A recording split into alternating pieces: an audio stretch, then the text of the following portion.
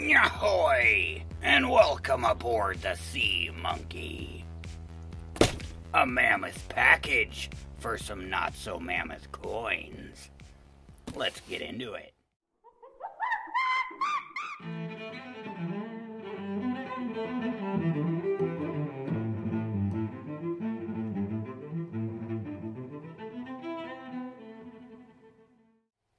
Morning, YouTube stacking and coin collecting family. Welcome back to the channel. That's right, I've got a mammoth package. It's got some coins in it and some other stuff. So, let's get into this package. So, we've got a package from APMEX. I don't normally order from them. I do get some exclusive series from them when they have them available. As you guys have seen me show off some of the series that I'm collecting from them, like the Icons of Inspiration series and Prehistoric Life series that are APMEX exclusive, but I'm not loyal to APMEX by any means. I actually prefer SD Bullion over APMEX, but recently I've been shopping on Bold, and uh, definitely check out Metal Merchants every week They've got some killer stuff, killer deals. Alright, so let's see. We're into the package. Let's get that out of the way here. And first up, we've got one of those. And we've got two of those. And one of these. So I picked up a couple of the uh, used cases because I'm I've been acquiring some slabs. Um,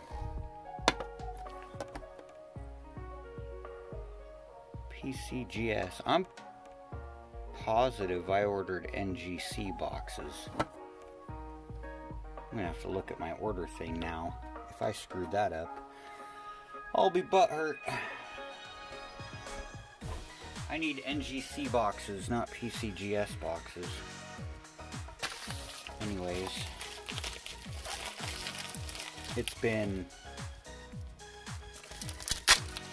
rough last few weeks. Hectic, rough. We're coming into spring and working out in the yard, trying to get the garden going. Still trying to acclimate to this night job.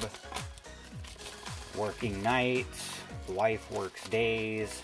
Got to try and take care of the kid during the day while getting some sleep. Yeah, it's it's been rough. So there's coinage. And let's see, I got some more supplies. Got some more tubes. I got a quarter tube, I got a nickel tube, I got a, dollar tube, which is supposed to be, that's supposed to be big enough for the, again, that's supposed to be a dollar tube for Canadian dollars. That's a presidential dollar tube. Either I screwed up or they did. Either way is what it is. Let's see here.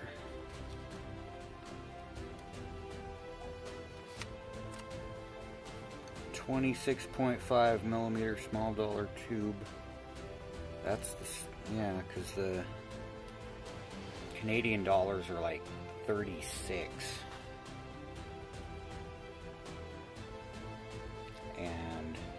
PCGS boxes. I screwed up, I guess. Oh well, is what it is. Uh, okay, so I got another Philharmonic, another Philharmonic.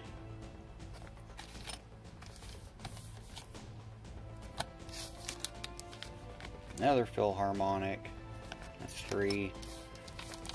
Another Philharmonic for four, so we got four more Philharmonics there. And those are going to go ahead and go in the tube. That'll bring me up to seven Philharmonics. And then this guy, the brand new APMEX exclusive Democratic Republic of Congo.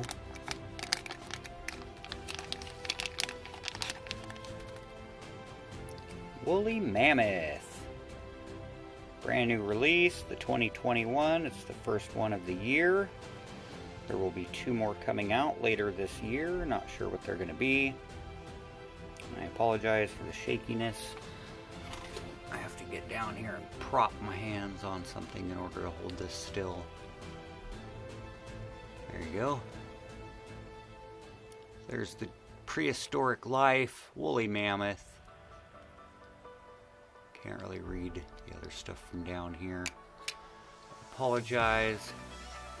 Republique Democratique du Congo, 20 francs, 1 ounce of 4 nines, fine, pure silver. These are pretty nice coins. They are pretty proof-like. They've got a nice cameo.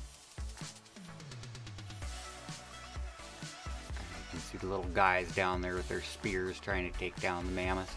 This is a pretty cool one. I like the design on this one see if I can get in here and show you guys a better. There you go. You can see the, the guys with their spears trying to take down the mammoth. They get pretty good design on these guys. And you can see the individual hairs in the on the mammoth there and the blades of grass. Come on, focus. The hairs on the people's heads. So we've got uh, 0.8 million years to 1.8 years BC.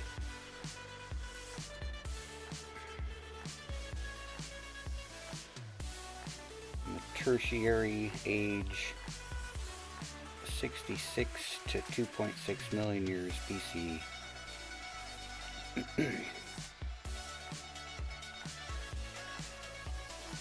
Oh, I see. It lists all. Oh, it lists all the ages. Okay. So it lists the three ages around the rim. Not just the age that the creature was supposedly around in. But uh, yeah, very nice. So we've got the, the woolly mammoth, part four. My uh, camera doesn't seem to be looking very good today. Part 4 of the Prehistoric Life series from the Democratic Republic of Congo, an APMEX exclusive series. One of the few series that I am collecting that's a, a strictly APMEX um, purchase. I did have to go to the secondary market for the T-Rex because I started the collection late I saw this come out and I was like, ah, that's interesting. Well, you know, that's that's kind of cool. But I didn't get it. And then, of course, a couple of months later, my son proclaims this fascination with dinosaurs. And I was like, well, there's a dinosaur coin I saw on APMEX not too long ago. And uh, so I went back on there to look for it, and it was gone, of course. But see, these guys only all have 10,000 mintage, so they do sell out pretty quickly. And we've got the Mamenchisaurus, that was the secondary release. I picked this one up with this one in a single order from APMEX. So I got number two and number three at the same time. And then I purchased this one later on from eBay and uh, now I've got part four. So we are now caught up on the series. Make sure these are not blinding people here.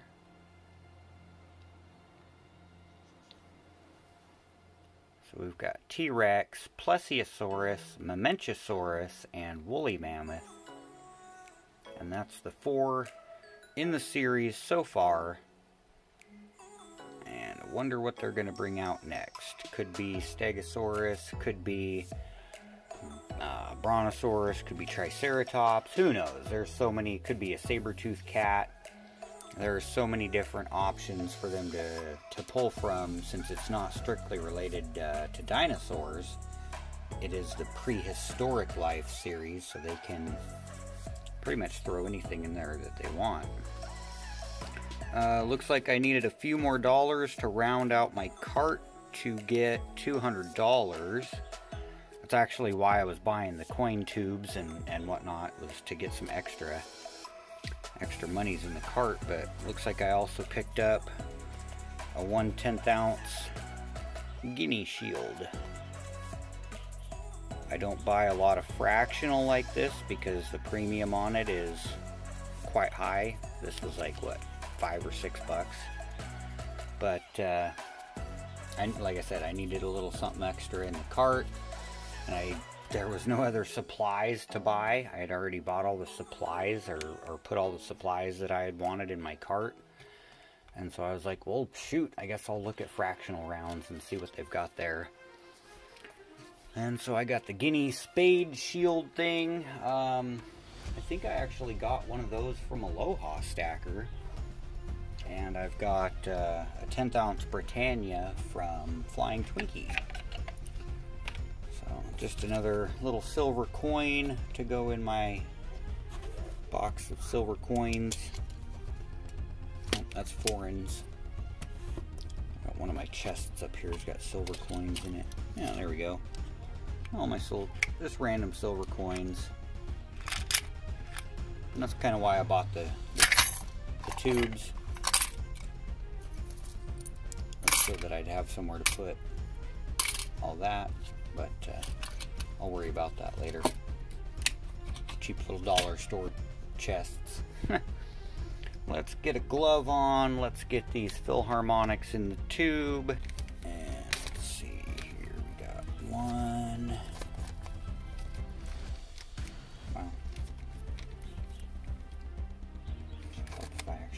all the way through the package.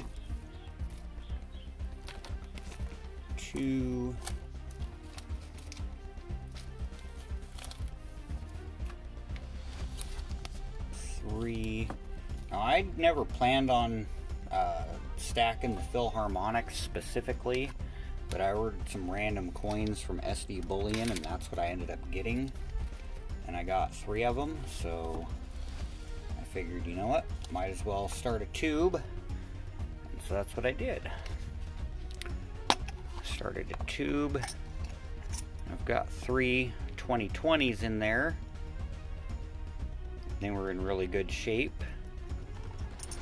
And so since the premiums on Philharmonics seem to be relatively good, um, Philharmonics, they're all running right around a dollar to a dollar and a half above a generic round, while the Eagles are still running like eight and nine bucks premium, six bucks, you know, above like a generic round. So if I can pay a dollar more for a sovereign coin versus like six dollars for a sovereign coin, I'll stack the the the cheaper sovereign coins.